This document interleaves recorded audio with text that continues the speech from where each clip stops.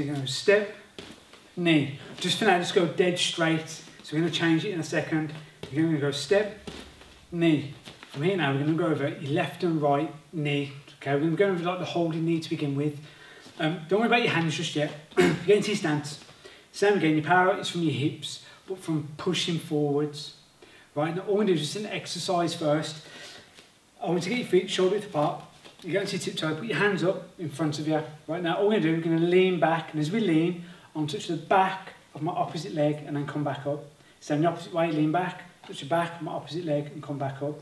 Lean back and come back up. Lean back and come back up. Right now, if you watch, what this is doing, as I'm pushing back, my hips are going forwards, this shoulder is staying in front, which is going to make sense in a moment.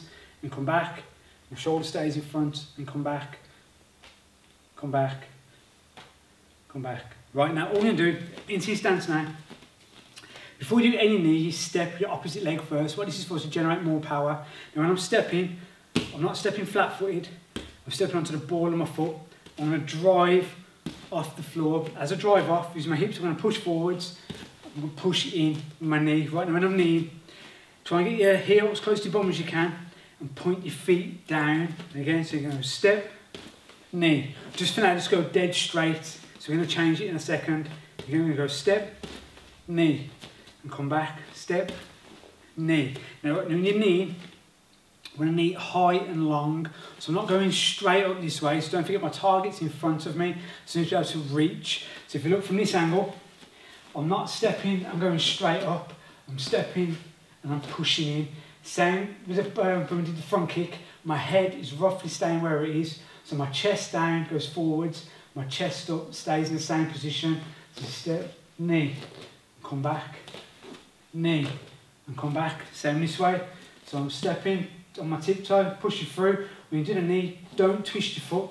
Try and keep your foot as straight as you possibly can. Knee, and come back. Knee, and come back.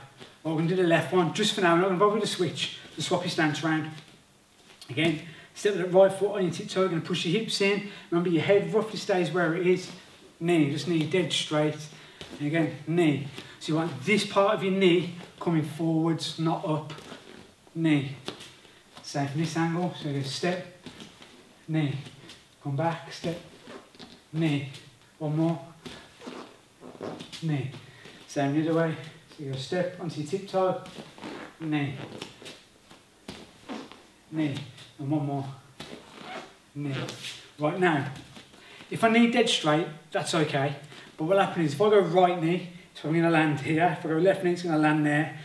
We're going to get it so both your knees hit the same position, right? So if you look what I'm kneeing, rather than going dead straight, it angles in slightly so it's coming through. Still when you throw your punch and you turn your knuckle over. So I go step, knee, it comes in, step, knee. Same that left one, but going to switch. So left foot moves first, and swap your stance over. So switch, knee, it's coming in, switch, knee, coming in. Go from this angle, so the right leg first, step, knee, so it's coming through. I'm not coming round, my leg is still coming dead straight. As it comes dead straight, curls at the last minute. And again, so step, knee, same the left, knee, knee.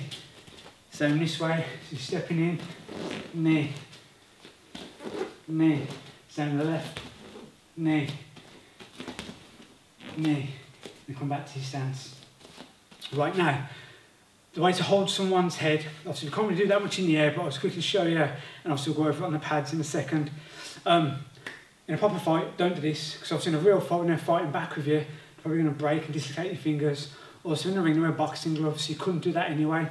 Your hands come across, and you lock in together, and you clamp around the neck, so sharp edge of your arm runs along the leg just under the jawline. So I'd lock in from here, and before I'd even about take that step, you push in. Look at my shoulder, I'm not putting my shoulder back, so my shoulder is staying in line the same way when I'm practicing this position. So as I'm kneeling, so that shoulder's in line, shoulders in line, so shoulder stays along your hip as you do in the knee. What we'll do now, we'll go over um, your left and right, step in front knee, or people refer to it as a long knee. So all we're going to do, get into your stance, right, your guard is a bit different from here because we're not actually going to be holding the opponent. I want to throw your right arm forwards. As you throw your right arm forwards, so my hip just turns just a little bit, not much, pushing more forwards rather than twisting over. And your other hand comes across to cover your face. So I'm come up, cover my face, up, cover my face. Now before, remember you did a knee, step onto your tiptoe. You're gonna drive up, and go knee, then come back to your stance. Knee, don't forget that angle.